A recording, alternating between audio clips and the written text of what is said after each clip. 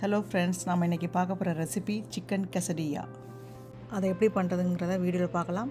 சே வீடியோக்கு போகிறதுக்கு முன்னால் சேனலுக்கு சப்ஸ்கிரைப் பண்ணிவிடுங்க லைக் பண்ணிவிடுங்க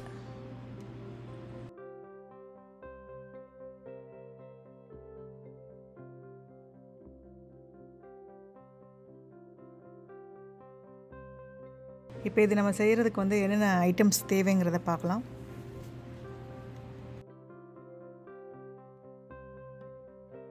ஓகே ஃபஸ்ட்டு வந்து ஆனியன் அண்டு கேப்சிகம் வந்து ஃப்ரை பண்ணி எடுக்கணும். அதுக்கு ஒரு பேனில் வந்து ஆயில் ஆட் பண்ணிக்கிறேன்.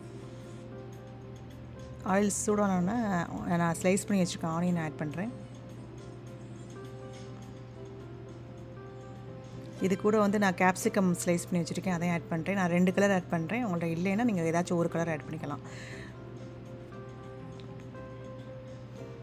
இது மூணையும் வந்து நல்லா வதக்கி விடலாம்.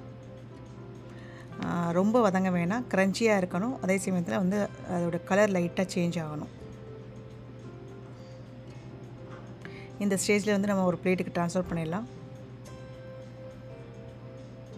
இப்போ அதே பேனில் வந்து கொஞ்சம் எகெயின் கொஞ்சம் ஆயில் ஆட் பண்ணிக்கலாம்.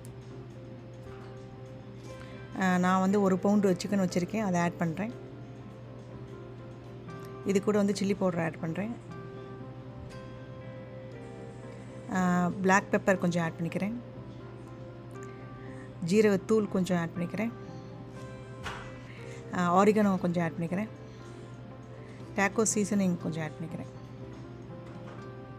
சால்ட் இதுக்கு தேவையான சால்ட் கொஞ்சம் ஆட் பண்ணிக்கலாம்.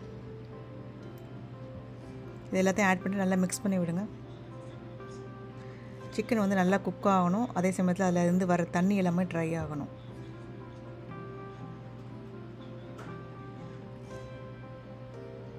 ஒரு மூடி போட்டு நல்லா குக் பண்ணலாம். இடையில ஓப்பன் பண்ணி பாருங்கள் சிக்கன் வந்து அடி பிடிக்காமல் இருக்கிறதுக்காக. நல்லா பரட்டி விடுங்க.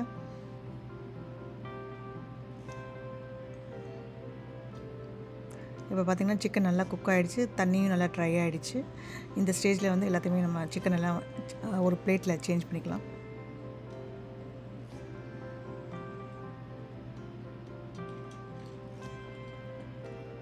இப்போ வந்து ஒரு தோசை பேனை ஹீட் பண்ணுறேன் நான் வந்து ரெடிமேட் டாட்டிலாக வச்சுருக்கேன். அதை வந்து நான் குக் பண்ணி எடுக்க போகிறேன்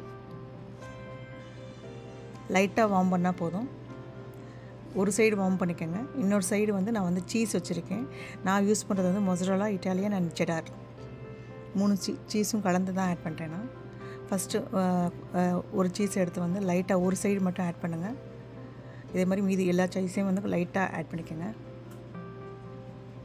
நல்லா ஸ்ப்ரெட் பண்ணி விட்டுக்கோங்க. இப்போ நம்ம வந்து குக் பண்ணி வச்சுருக்க அந்த வெஜிடபிள்ஸ் ஆனியன் இருக்குல்லையா அதையும் ஆட் பண்ணிக்கலாம்.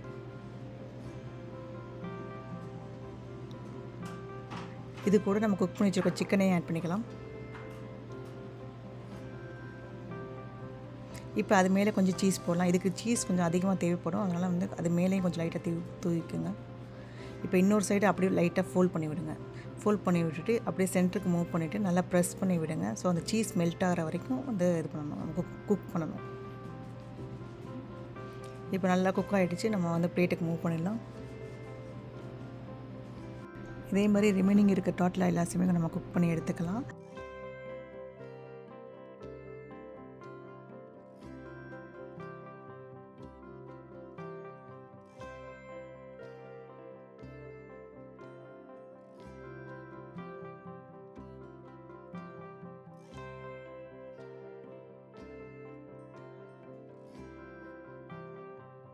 குக் பண்ணும்போது ரெண்டு சைடும் திருப்பி போட்டு நல்லா ப்ரெஸ் பண்ணி விடுங்க. அப்போ தான் வந்து நல்லா வந்து சீஸ் வந்து மெல்ட் ஆகும் உங்களுக்கு.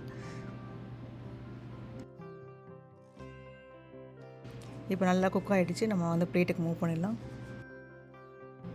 இப்போ நம்ம குக் பண்ணி வச்சுருக்க அந்த கோஸ்டிலா வந்து சர்வ் பண்ணுறதுக்குன்னா ரெண்டாக ஸ்லைஸ் பண்ணிக்கலாம். ஸ்லைஸ் பண்ணிட்டு சர்வ் பண்ணலாம். பார்த்திங்கன்னா நம்மளுடைய எம்மி கோஸ்டிலா ரெடி ஆகிடுச்சு சர்வ் பண்ணிடலாம். உங்களுக்கும் இந்த வீடியோ பிடிச்சிருக்குன்னு நினைக்கிறேன். வீடியோ பார்த்துட்டு சேனலுக்கு லைக் பண்ணுங்கள் சப்ஸ்கிரைப் பண்ணுங்கள் அப்படியே கமெண்ட் பண்ணிவிடுங்க சி யூ இந்த next video until then bye